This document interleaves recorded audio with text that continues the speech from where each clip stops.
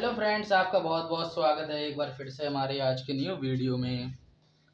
Friends, आज की video में मैं आपको बताऊँगा कि आप दोस्तों अपने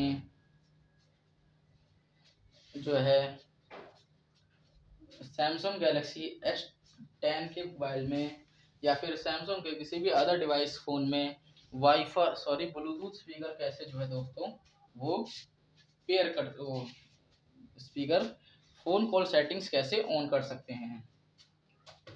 तो दोस्तों, इसी के लिए आज मैं वीडियो लेकर आया हूँ।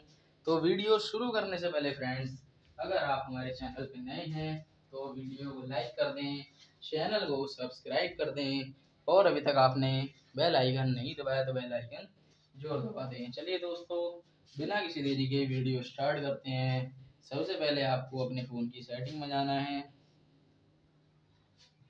सेटिंग में जाने के बाद आपको यहाँ दिख रहा होगा कनेक्शन कनेक्शन पे क्लिक करना है। क्लिक करने के बाद दोस्तों, यहाँ पे आपको दिख रहा होगा ब्लूटूथ ब्लूटूथ पे क्लिक करना है। क्लिक करने के बाद आपको सेटिंग्स में जाना है।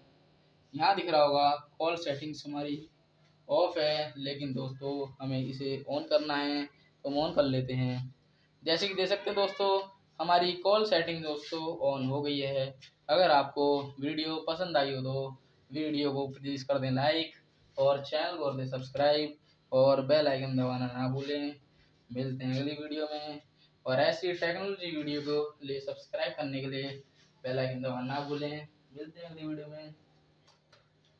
तब तक के लिए नमस्कार फ्रेंड्स और ऐसे ही बढ़िया बढ़िया वीडियो के लिए हमारे चैनल सब्सक्राइब कर लें और बेल आइकन वाला ऑप्शन दबाना ना भूलें। और मिलते हैं अगली वीडियो में। तब तो तक के लिए गुड बाय फ्रेंड्स